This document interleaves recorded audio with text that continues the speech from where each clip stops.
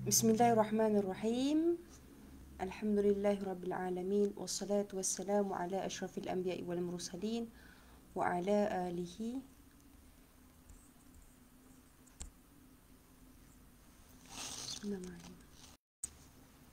بسم الله الرحمن الرحيم. الحمد لله رب العالمين والصلاة والسلام على أشرف الأنبياء والمرسلين وعلى آله وصحبه أجمعين.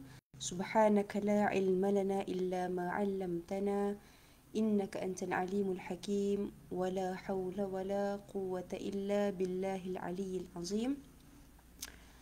الحمد لله الحمد لله الحمد لله رب اشرح لي صدري ويسر لي أمري واحلل عقدة من لساني يفقه قولي.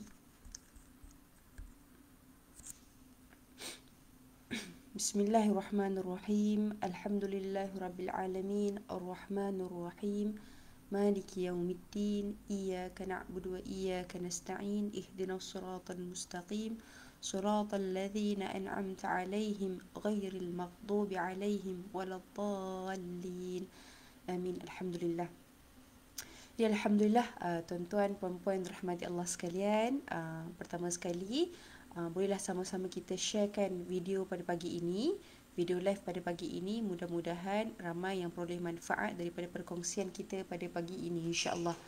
Jadi tuan-tuan puan-puan rahmati Allah sekalian Pertama sekali sama-sama kita panjatkan Panjatkan kesyukuran kita kepada Allah Subhanahu Wa Taala. Kerana dengan limpah kurnianya pada pagi ini kita masih lagi diberikan peluang ruang untuk uh, bersama berkumpul dalam majlis ilmu dan insyaallah pada pagi ini uh, kita sama-sama ucapkan uh, rasa syukur kita kepada Allah Subhanahu Wa Taala dengan ucapan alhamdulillah. Dan pada pagi tadi kita membaca uh, uh, doa doa bangun pagi alhamdulillahillazi ahyana ba'da ma amatana wa ilaihi nusyur Uh, kenapa? Kerana pada pagi ini kita masih lagi diberikan peluang jadi sentiasalah ucap rasa syukur kepada Allah Subhanahu Wa Taala. Mudah-mudahan uh, dengan rasa syukur itu Allah tambahkan lagi nikmat, Allah tambahkan lagi keberkatan dalam setiap rezeki yang kita peroleh insya-Allah. Jadi tuan-tuan puan-puan yang Allah sekalian, seterusnya sama-sama kita panjatkan salam serta selawat kita kepada junjungan besar Nabi Muhammad sallallahu alaihi wasallam. اللهم صل على محمد اللهم صل على محمد اللهم صل على محمد Mudah-mudahan dengan usaha kita uh, mengamalkan sunnah Nabi Muhammad sallallahu alaihi wasallam uh, kita dipermudahkan urusan kita di yaumul akhirah nanti insya-Allah. Jadi tuan-tuan puan-puan rahmat Allah sekalian uh, untuk kuliah pada pagi ini insya-Allah uh, bersama dengan saya Ustazah Nurul Syafiqah binti Muhammad Hanafiah uh, kita nak uh, mendengarkanlah ataupun kita nak tahu tentang bagaimana uh, tajuk besarnya adalah bagaimana untuk menjadi muslim yang baik. Uh, dan kita khususkan uh, untuk kita bercakap baik untuk tajuk khususnya adalah untuk kita bercakap baik ataupun diam. Uh, untuk kita bercakap baik ataupun diam. Jadi insyaallah uh, untuk pagi ini jika ada sebarang soalan boleh dikemukakan di ruang komen uh, dan jika rasa macam uh, ada kurang jelas ke ataupun apa-apa ke boleh teruskan uh, uh, beri ruang komen lah untuk saya tahu bagaimana keadaan pada saat ini insyaAllah Alright, jadi bagus. Okey, Alhamdulillah. Ah, Waalaikumsalam warahmatullahi wabarakatuh. Ini insyaAllah tajuk bercakap baik ataupun uh, lebih baik diam. Okey, bagaimana untuk menjadi Muslim yang baik. Jadi insyaAllah. Uh, kita lihat dalam kehidupan kita sebagai seorang manusia di atas muka bumi ini. Sebagai seorang hamba Allah sebagai seorang khalifah di atas muka bumi ini. Kita iman seseorang uh, bukanlah setakat diukur. Iman seseorang ini bukanlah setakat diukur sekadar apa? Sekadar mundar mandir ke surau ke masjid bukan setakat itu. Tapi bahkan iman kita ini diukur juga bagaimana hubungan kita. Bagaimana kita menjaga hubungan kita dengan uh, sama manusia. Bukan setakat kita menjaga hubungan kita dengan Allah Azza wa Jal dengan Allah Subhanahu wa taala bahkan bagaimana keadaan kita menjaga hubungan kita sesama manusia. Uh, dengan itulah kita dengar bahawa bila mana dalam atas muka bumi ini kita kena menjaga hablum minallah wa hablum minan nas kita kena menjaga hubungan kita uh, kepada Allah hubungan kita dengan Allah dan juga kita menjaga hubungan kita sesama manusia Dan dalam kehidupan kita ini subhanallah kalau kita lihat contoh daripada baginda Nabi Muhammad sallallahu alaihi wasallam kita akan lihat betapa banyaknya kasih sayang, banyaknya rahmat daripada uh, Allah Subhanahu wa taala melalui melalui uh, Nabi sallallahu alaihi wasallam.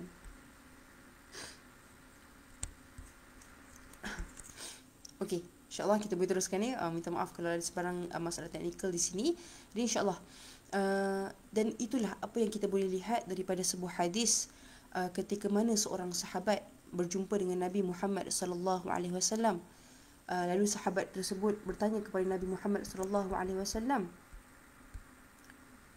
Uh, siapakah uh, ap, apakah yang Allah paling sayang dan apa amalan yang kalau aku buat ini supaya apa? Supaya Allah sayang kepada aku uh, sahabat bertanya kepada Nabi. Sahabat bertanya siapa yang paling Allah sayang dan apa amalan tersebut supaya Allah sayang aku kalau aku buat. Uh, subhanallah, apa kata Nabi Muhammad sallallahu alaihi wasallam dalam sabdanya yang bermaksud Ah, subhanallah. Apa ni? Kita kena tahu ni supaya apa? Supaya bila mana kita tahu perkara ini apa yang disampaikan oleh Nabi Muhammad wasallam, mudah-mudahan kita dapat menjadi insan tersebut dan mendapatkan ciri-ciri tersebut. Apa dia? Sebaik-baik manusia. Khairun nas khairun nas anfa'uhum linnas. Sebaik-baik manusia adalah yang paling bermanfaat bagi manusia. Bagi manusia lain bagi insan lain. Bukan setakat manusia bahkan kalau kita lihat lebih skop yang lebih luas kita bermanfaat untuk alam sekitar. Kita bermanfaat untuk makhluk-makhluk lain. Jadi hadis riwayat Ahmad At-Tabrani dan uh, dan hadis ini dihasankan oleh Al-Bani di dalam Sahihul Jami' jadi insyaallah. Baik kita teruskan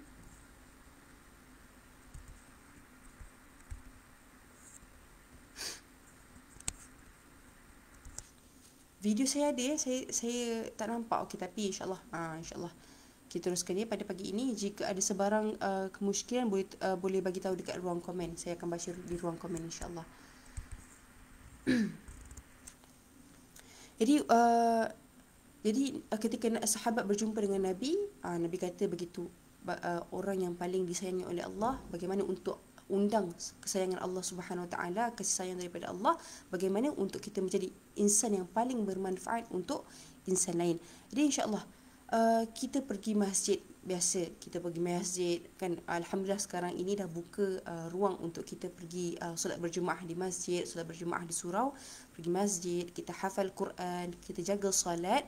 Bagus untuk diri kita bagus untuk menambahkan kebaikan untuk diri kita. Dan satu perkara lagi yang boleh kita tambah apa dia?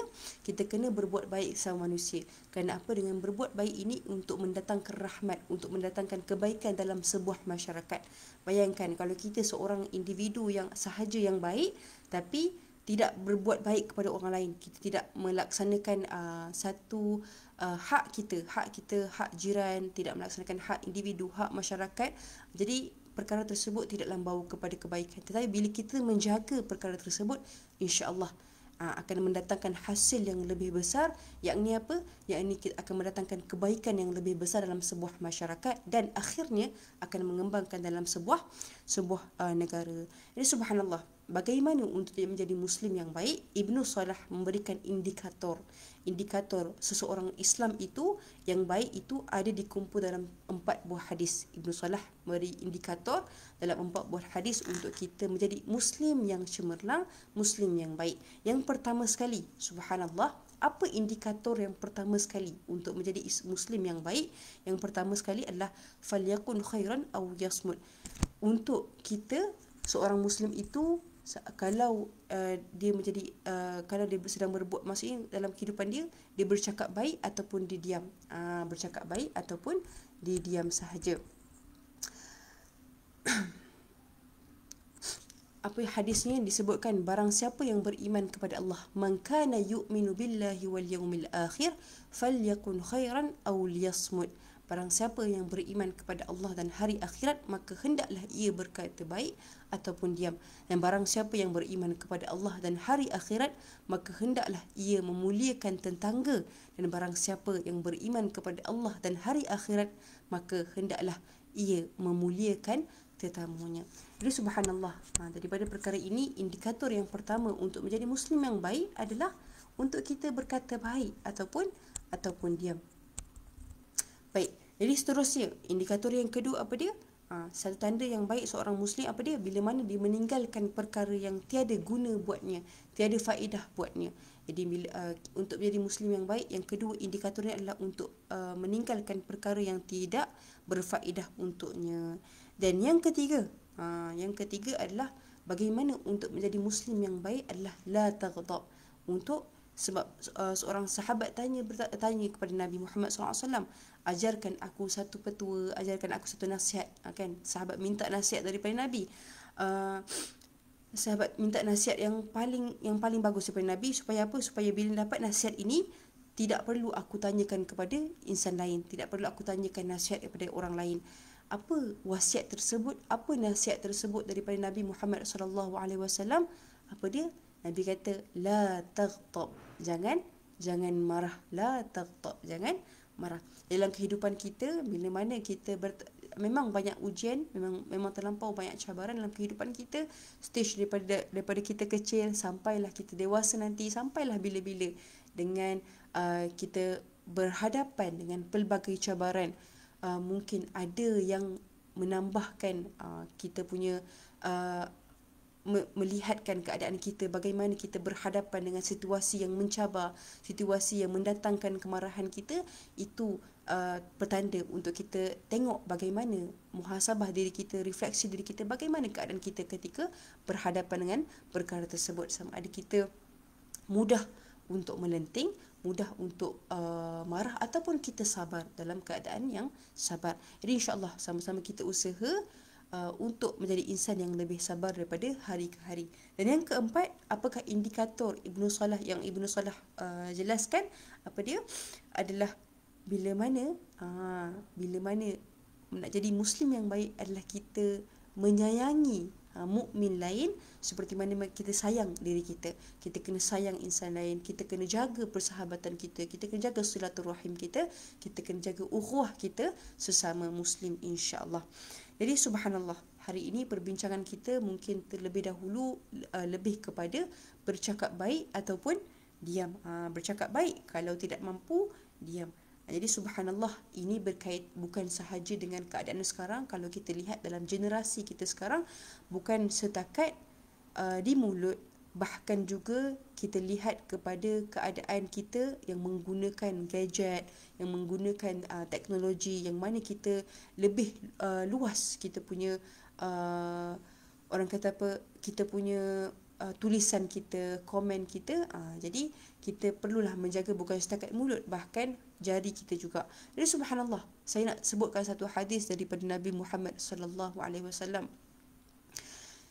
Subhanallah, uh, hadis tersebut menekankan bila mana kita di atas muka bumi ini, kita perlu menjadi insan yang sangat-sangat menjaga. Kan kita setiap hari, setiap hari kita nak kumpul pahala tuan-tuan perempuan.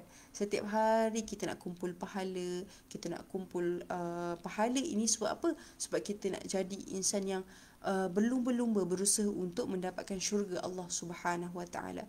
Namun begitu, dikatakan dalam sebuah hadis, Nabi kata uh, Nabi kata siapa di sini uh, yang nak tahu? Sebab Nabi bertanya kepada sahabat-sahabat berkenaan dengan uh, berkenaan dengan uh, muflis. Siapakah yang muflis di yaumul akhirah nanti? Jadi sahabat kata muflis ni adalah orang uh, uh, Nabi kata siapa yang muflis? Uh, kan? Sahabat-sahabat tanya adalah orang yang uh, tak cukup duit orang yang tak cukup harta. Tapi Nabi kata muflis ni adalah orang yang dibawa dekat akhir nanti dibawa solat dia dibawa puasa dia dibawa zakat dia. Tetapi akhirnya apa? Akhirnya tiada guna untuknya. Ha, sebab apa? Sebab rupa-rupanya ia semua ada juga berkait dengan kehidupan dia iaitu apa? Iaitu mulutnya. Menfitnah mencaci maki hamun orang dan juga menuduh orang lain. Ha, berkait juga dengan uh, lidah manusia. Jadi itu dia yang kenapa saya pentingkan berkenaan dengan lidah pada hari ini adalah ketika mana kita nak menjadi muslim yang baik, nak jadi ciri-ciri muslim yang baik adalah kita kena menjaga lidah kita. Bila mana uh, nak kata bila bercakap kita perlulah pelihara lidah. Bila berjalan kita perlu pelihara kaki kita. Uh, bila kita bercakap juga kita perlu rendahkan suara bila bergaul kita kena menjaga hati kita bila kita bermadah kita kena lembutkan hati dan kita berjalan bila kita berjalan kita harus haluskan langkah kita. Dan subhanallah kalau kita lihat dalam kehidupan kita sama masyarakat sama dalam keluarga antara pasangan suami isteri aa, ah, bila kita antara pasangan suami isteri jagalah bicara kita. Bila kita dengan anak-anak aa, ah, tutur kata kita harus uh, se- seiring uh, ataupun seimbang dengan bagaimana kita nak berbicara dengan mereka. Jangan bila bercakap dengan mereka ni Allah Allah Akbar. Kan asyik-asyik marah. Kan itu antara satu uh, salah satu uh, ujian dan cabaran. Tapi perlu kita ada satu ilmu bagaimana untuk kita uh, bercakap dengan mereka. Supaya apa? Supaya hati mereka lembut supaya hati mereka tertarik dengan kita supaya kita boleh jadikan mereka kawan kita supaya kita boleh dapatkan uh, dalam keluarga tersebut keluarga yang harmoni dan uh, mencapai konsep sakinah mawaddah warahmah. Jadi insya-Allah seterusnya Allahu akbar uh, dikatakan uh, dalam sebuah asar dikatakan ketika mana majoriti manusia ini kerana mulut dia ni uh, majoriti dosa manusia majoriti dosa manusia ini semuanya dekat mulut seseorang. Uh, maksudnya dari lidah inilah kebanyakannya hasil hasil daripada melidah inilah yang datangnya mengundang dosa. Jadi subhanallah ciri orang yang baik apa dia menggunakan mulutnya untuk bercakap perkara yang baik kerana mulut badan binasa akan kerana pulut santan binasa kerana mulut badan binasa. Jadi lidah ini lidah kita yang diberikan untuk kita sentiasa bercakap, kita uh, berkongsi, kita uh, memberi nasihat, kita bercakap dengan pasangan kita, kita bercakap dengan ibu ayah kita, kita berbual dengan anak-anak kita. Jadi lidah inilah nikmat Tuhan yang paling luar biasa. Nikmat yang Allah berikan yang paling luar biasa, masya-Allah. Jadi lidah inilah yang sangat-sangat hebat yang Allah ciptakan buat kita, tetapi tetapi tuan-tuan puan-puan dirahmati Allah sekalian, tetapi kalau lidah ini tidak digunakan sebaiknya oleh diri kita, Allahu Akbar.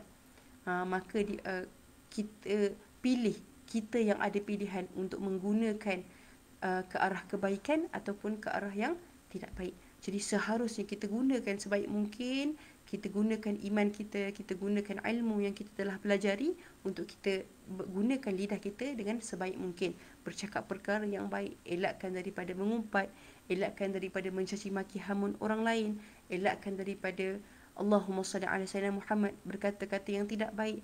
Ha, kerana apa? Kerana lidah dengan lidah ini mampu untuk bawa kita ke syurga ataupun ke neraka. Ha, jadi kita pilih untuk sebaik-baik mungkin kita pilih untuk jaga lidah kita ini untuk bercakap perkara yang baik dan akhirnya insya-Allah bawa kita ke ke dalam ke dalam syurga Allah Subhanahu wa taala. Jadi subhanallah. Uh, kalau kata-kata ulama, ulama kata apa? Setiap percakapan kita ini semua jadi satu doa. Jadi kita, kalau kita nak jadi insan yang baik setiap hari, hari setiap hari bangun, uh, kan kalau kaedah-kaedah yang diberikan oleh uh, pakar-pakar motivasi juga ataupun uh, para asatizah yang lain, ada juga yang mengatakan bila bangun pagi kita sebut uh, kita sebut perkara-perkara yang baik buat diri kita, perkara-perkara yang baik dalam keluarga kita. Jadi kalau contoh nak marah anak pun jangan. Jangan nak marah anak ataupun nak tegur anak, jangan kita guna perkataan-perkataan yang kurang baik. Kita gunakan perkataan-perkataan yang baik. Baik anak ini bertuah anak ini kan uh, supaya apa? Supaya yang datang kepadanya adalah perkara-perkara yang baik. Jangan jangan pula kita sebut uh, hamburan-hamburan ataupun kata-kata yang kurang baik. Jadi subhanallah Uh, subhanallah kata, kalau daripada uh, kalam-kalam Ibnu Abbas katanya ada manusia kita manusia semua rindu nak masuk syurga. Ha, semua rindu nak ke syurga Allah Subhanahu Wa Taala. Kita semua daripada kita kecil siapa yang uh, bila guru tanya atau bila ustazah tanya siapa nak masuk syurga? Ha, kita semua nak masuk syurga. Kita semua rindukan syurga. Allahu Akbar. Kita semua nak masuk syurga. Tapi ada manusia yang sangat istimewa Allahu Akbar yang mana syurga rindu pada dia syurga rindu pada dia bagaimana kita nak dapatkan syurga rindu pada kita subhanallah kan bila syurga rindu pada empat kumpulan ha, dikatakan dalam riwayat Ibnu Abbas syurga rindu pada empat kumpulan ini ha, empat golongan manusia ini Apa dia? Yang pertama sekali, syurga rindu pada orang yang suka membaca Al-Quran. Subhanallah. Orang yang suka membaca Al-Quran. Jadi, dalam riwayat Ibn Abbas, Ibn Abbas ini, rindu, syurga rindu pada dia. Yang pertama, golongan yang pertama adalah golongan, golongan yang suka. Suka, rindu, cinta untuk sentiasa membaca Al-Quranul Karim. Jadi, tuan-tuan, puan-puan, rahmat Allah sekalian, golongan ini yang kita nak bina dalam keluarga kita setiap hari dalam keluarga kita daripada kita daripada anak-anak kecil ni kita bina uh, dekatkan dengan Al-Quran setiap kali lepas solat baca Al-Quran bangun pagi kita buka bacaan Al-Quran Yasin ke ataupun Al-Mul pada malam-malam hari kita buka. Kita buka biarkan suasana dalam keluarga ini dipenuhi dengan ayatul Quran. Supaya apa? Supaya kita menjadi golongan yang dicintai, yang dirindui oleh syurga Allah Subhanahu Wa Taala. Ha, supaya apa? Supaya kita dibesarkan dalam Al-Quran, kita dijadikan sahab Al-Quran itu sebagai sahabat. Supaya apa? Supaya kita dipermudahkan dalam kubur nanti uh, menjadi peguam bela kita dan di akhir nanti menjadi syafaat uh, dan menjadi penyelamat kita daripada api neraka. Dan yang kedua, siapakah golongan yang dirindui oleh syurga? Yang kedua adalah mereka yang menjaga lisan mereka yang menjaga antara dua rahang ini jaga mulut dan jaga antara dua rahang dan juga jaga antara dua uh, antara peha. Iaitu apa? Golongan yang dirindui oleh syurga yang kedua adalah mereka yang menjaga lisan. Dan yang ketiga siapa yang nak dirindui syurga adalah mereka yang suka suka dan suka memberi makan. Suka memberi sedekah suka memberi makan uh, kepada contoh ahli keluarga uh, kita kumpul ramai-ramai uh, setiap hari kumpul seringgit seringgit seringgit kita kumpul hari Jumaat kita beri beli beri makanan beli makanan untuk kita beri sedekah atau beri makanan kepada orang lain ataupun kita masak ajak tamu datang ataupun ajak saudara mara yang dah lama kita jumpa ni kumpul uh, makan sama-sama kita beri makan tapi dalam keadaan sekarang perlulah menjaga SOP. Dan yang keempat, siapakah golongan mereka yang dirindui syurga adalah apa? Subhanallah. Adalah mereka yang gembira untuk bertemu dengan Ramadan. Mereka yang gembira nak bertemu dengan Ramadan Ramadan Ramadan Karim. Ha, kita nak jumpa dengan Ramadan ni kita dah beberapa bulan sebelum kita nak jumpa dengan Ramadan kita dah gembira. Subhanallah. Ini adalah uh, bukan setakat gembira, bahkan dah ready dah persediaan kan bulan Rajab, bulan Syaban bersedia apakah amalan yang kita nak buat dalam bulan Ramadan dah dah ready uh, subhanallah jadi itulah dia antara cara uh, antara golongan-golongan yang dirindui oleh syurga Allah Subhanahu wa taala. Okey subhanallah. Jadi subhanallah kalau kita lihat uh, yang dikatakan siapa yang banyak cakap ha, kan dalam siapa yang banyak cakap maka banyaklah silapnya. Siapa yang banyak silap banyaklah dosanya. Dan siapa yang banyak dosa maka nerakalah tempatnya. Jadi subhanallah kalau kita lihat pada saat ini tuan-tuan puan-puan dirahmati Allah sekalian bukan saya nak kata ya Allah jangan bercakap. Tak. Jangan asyik-asyik diam je tak. Bukan ya, bukan itu maksudnya. Maksudnya apa? Bila kita bercakap fikir dulu ha yang ni bermanfaat tak? Perkara yang baik tak untuk insan lain dengar? Kan? Ha, bila mana perkara yang baik bila mana uh, kata-kata tersebut mengundang uh, kasih sayang orang lain kan? Nak cakap cakap perkara yang baik uh, uh, sebab kadang-kadang dalam kehidupan kita ada yang berlaku satu masanya bila mana kita bercakap tu Allahu akbar akhirnya apa akhirnya apa yang berlaku kita rasa macam ya Allah Oh lepas ni rasa tak sedar hati Sebab apa? Sebab kita kena cari balik insan tersebut Untuk kita Apa? Untuk kita minta maaf dan sebagainya ha, Kan? Bila sebab kita rasa Oh kadang-kadang contoh dalam keadaan uh, Dalam keluarga Kan bercakap dengan adik-beradik ni. Tiba-tiba ya Allah Rasa macam tersilap cakap pula. Ha, Kena minta maaf. Ha, Betul lah minta maaf tersebut. Tapi bila mana kita rasa kita dah berjaga-jaga dalam kehidupan kita Bercakap-cakap dengan uh, bicara kita Lidah kita InsyaAllah uh, Mudah-mudahan uh, lebih mudah uh, dalam uh, kita untuk bergaul dan uh, dan bercakap dalam uh, sebuah dalam sebuah perbualan lah kan. Uh, tak adalah berasa macam bersalah tiada rasa untuk overthinking rasa bersalah. Dan kadang-kadang bila terlepas cakap perkara yang tak baik dalam tengah-tengah marah tengah-tengah bergaduh tu uh, that's why Nabi kata apa? Nabi, uh, Ibnu Salah kata indikator untuk menjadi muslim yang baik la taghdab kan apa yang Nabi kata? La taghdab. Jangan marah jangan mudah marah. Kita kena cuba usaha daripada hari ke hari uh, bagaimana untuk dapatkan suasana yang sabar suasana yang tenang. Uh, bila orang bertanya kan? Kalau kadang-kadang ada uh, insan yang bertanya macam mana ni nak jadi insan yang sabar? Jadi apa yang boleh kita laksanakan? Apa yang nabi ajar? Kan? Banyakkan kalau tengah-tengah marah tu pergi dekat uh, pergi jauhkan diri daripada suasana marah tu. Maksudnya tengah-tengah marah bergaduh tu uh, keluar daripada tempat tersebut uh, ni yang susah nak buat kan kita senang je nak cakap ya Allah susah senang je nak cakap kan tapi susah nak buat. Jadi apa yang boleh kita buat bila mana uh, berhadapan dengan keadaan tersebut sebaik mungkin. Ha, kita cuba sedaya upaya kita untuk keluar daripada tempat tersebut untuk kita apa? Ambil wuduk, duduk. Ha, daripada berdiri, duduk. Ha, duduk ataupun kita alihkan diri kita daripada tempat kemarahan tersebut. Subhanallah. Ha, subhanallah. Ha, jadi inilah perkara-perkara yang telah diaturkan sebenarnya diberi panduan oleh Nabi Muhammad sallallahu alaihi wasallam untuk diri kita juga untuk kebaikan diri kita dan uh, keluarga subhanallah. Allahumma salli ala Muhammad wa ala ali Muhammad. Allahumma salli ala Muhammad wa ala ali Muhammad.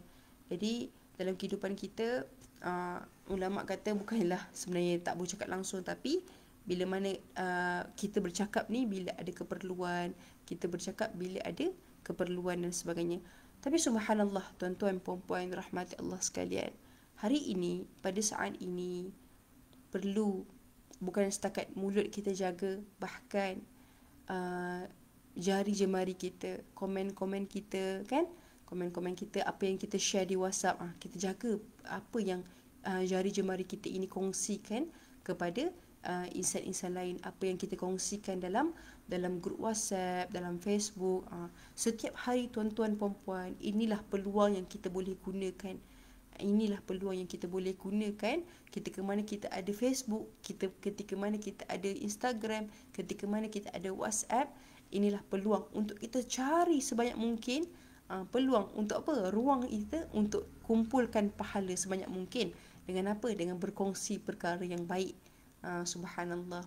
Alhamdulillah kita kongsikan perkara yang baik kepada insan-insan lain. Mudah-mudahan contoh kan. Allahumma salli ala Muhammad kita kongsikan. Mana tahu ada seorang, ada dua orang kan ada ada seorang dua orang dengar uh, ataupun baca apa yang kita kongsikan tu subhanallah itu pun dah menjadi pahala kalau dia amalkan kalau dia share orang lain amalkan sambung pahalanya buat diri kita tapi yang paling penting tuan-tuan puan-puan setiap yang kita keluarkan daripada bicara kita, setiap yang kita tulis daripada jari jemari kita di ruang komen, di WhatsApp, di Facebook semua ini, inilah yang kita akan uh, dipertanggungjawabkan. Kita diamanahkan oleh Allah Subhanahu Wa Taala untuk jaga sebaik mungkin lidah ini daripada perkara-perkara yang tidak baik. Jadi subhanallah uh, dalam al-Quran banyak dijelaskan. Apa ayat-ayat Al-Quran banyak dijelaskan bagaimana uh, uh, kenapa perlunya untuk kita menjaga ataupun untuk kita berkata-kata yang baik. Subhanallah. Dalam surah al-baqarah uh, dalam surah surah yang banyak surah al-isra banyak yang menyebut waqulu linnasi husna. Waqulu linnasi husna. Berkata baiklah kepada manusia. Uh, وقولوا وقولوا لهم معروفا وقولوا قولا لهم معروفا وقولوا قولا سديدا فليتقوا الله وقولوا قولا سديدا قولا بليغا قولا كريما قولا ميسورا semua uh, ayat-ayat ini menggambarkan bahawa bila kita berkata katalah dengan baik bila kita bercakap bercakaplah dengan sebaik mungkin kepada insan-insan lain subhanallah baik jadi subhanallah tuan-tuan puan-puan dan rahmat Allah sekalian uh, itulah. Pada hari ini apa indikator yang diberikan Ibnu Salah? Yang pertama sekali untuk menjadi muslim yang baik insan yang baik adalah kita berkata yang baik ataupun diam. Uh, yang kedua uh, la taghdab yang ketiga kita menyayangi menyayangi orang, orang lain muslim lain seperti mana kita uh, menyayangi diri kita sendiri. Dan yang kedua apa tadi? Yang kedua adalah kita meninggalkan perkara-perkara yang tidak bermanfaat untuk diri kita. Subhanallah, ha, saya nak berikan tips bagaimana untuk kita tukar. Kan contoh kita dah, ya Allah, susah ni kan. Ha, nak kadang-kadang kita pun uh, bila suasana lah, suasana contohnya, saya uh, alhamdulillah sekarang ni tengah uh, chambering, tengah buat uh, training uh, di sebuah firm uh, firm uh, Allahumma salli law lah yang perundangan. Jadi subhanallah uh, hari tu terdengar daripada kalam seorang uh, sahabat saya lah dia kata Allahumma salli ala Muhammad wa ala ali Muhammad. Dia kata apa? Syafiqah, kadang-kadang dalam suasana ni yang menyebabkan kita apa? Yang menyebabkan kita uh, terasa ya Allah uh, nak nak uh, terasa nak bercakap, terasa nak berbual tentang orang lain, tentang orang lain. Jadi apa yang boleh kita buat? Cuba sedaya upaya. Ya, dia kata apa kat saya tipsnya, cuba sedaya upaya bila mana orang berbual dengan orang lain tu, kita diam dan kalau boleh sebaik mungkin kita pergi tempat lain. Ha, maksudnya kita cuba untuk hindarkan daripada uh, ber, uh, termasuk dalam kumpulan tersebut. Ha, sebab bila kita bercakap tentang orang lain, kita mengadu tentang orang lain, kita bercakap tentang orang lain ini sebenarnya sebenarnya apa? Sebenarnya menunjukkan kelemahan kelemahan diri kita menunjukkan uh, side uh, uh, side yang tidak baik daripada diri kita. Jadi subhanallah tuan-tuan puan-puan rahmat Allah sekalian. Kembali semula hablum minallah wa hablum wa hablum minannas. Kita jaga hubungan dengan Allah, kita jaga hubungan kita sama manusia. Jadi insya-Allah tuan-tuan puan-puan rahmat Allah sekalian, pada pagi ini uh, kita dapat satu ilmu yang baru jaga lidah kita tetapi tuan-tuan puan-puan rahmatullah sekalian, ada antara uh, masa-masa kita ini yang uh, bukan setiap masa kita perlu berdiam. Uh, contohnya seperti agama dipermainkan, uh, kita kena bersuara. Kan? Kita kena bersuara. Bila mana mak ayah kita dihina, dicaci, itu pun kita perlu bersuara. Dan bila mana kita berhadapan dengan kemungkaran pun, kita perlu bersuara. Jangan kita diamkan diri kita tanpa bersuara. Na'udzubillah. Jadi insya-Allah tuan-tuan puan-puan rahmat Allah sekalian, pada pagi ini boleh uh, bolehlah mudah-mudahan untuk kita kongsi-kongsikan lagi uh, sharing kita pada pagi ini mudah-mudahan orang lain dapat manfaat dan kita semua dapat manfaat dan kita boleh amalkan dalam kehidupan kita bercakap baik ataupun diam. Jadi insya-Allah tuan-tuan puan-puan rahmat Allah sekalian, mudah-mudahan uh, hari ini dan hari-hari yang seterusnya dalam maulid uh, uh, dalam bulan kelahiran Nabi ini kita banyakkan berselawat, banyakkan berdoa kepada Allah Subhanahu Wa Taala, banyakkan berselawat, banyakkan membaca Al-Quran, uh, banyakkan zikrullah. Insya-Allah mudah-mudahan hidup kita setiap masa-masa kita ini dipenuhi dengan kebaikan insya-Allah. Jadi subhanallah saya rasa untuk berkongsi pada pagi ini sampai di situ sahaja. Uh, Alhamdulillah uh, doakan kita semua supaya semua dalam keadaan yang baik dan sejahtera selalu insya-Allah. Jadi saya tutup dengan pada pada pagi ini dengan wabillahi taufiq wal hidayah. Wassalamualaikum warahmatullahi wabarakatuh.